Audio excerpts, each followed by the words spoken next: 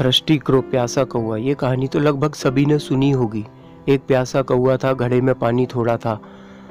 खैर कुछ दिन की बात है गर्मी तो बहुत पड़ी रही है और पड़, पड़, उस दिन भी पड़ रही थी।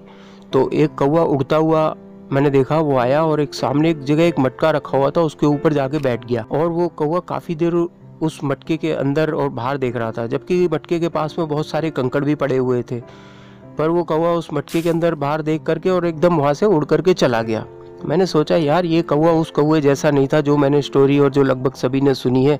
अगर ये समझदार होता, ये यहाँ से कुछ कंकड़ उठाता और घड़े के अंदर डालता जाता, घड़े के अंदर जो पानी था वो ऊपर आ जाता और वो उसको पी लेता और उसकी प्यास बुझ जाती, ये उड़ क्यों गया वहाँ से?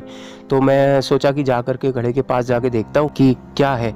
मैं घड़े के पास गया, वहाँ जा देख कर मैं हैरान ही हो गया क्योंकि उस घड़े के अंदर में पानी ही नहीं था, एक बूंद पानी भी नहीं था उस घड़े के अंदर। तो मुझे बड़ा दुख हुआ, मैंने कहा, यार, इसके अंदर कुछ थोड़ा पानी होता। कौवा जो है, इस घड़े में से पानी पी लेता और इसकी प्यास बुझ जाती ये तो उड़ गया यहाँ से।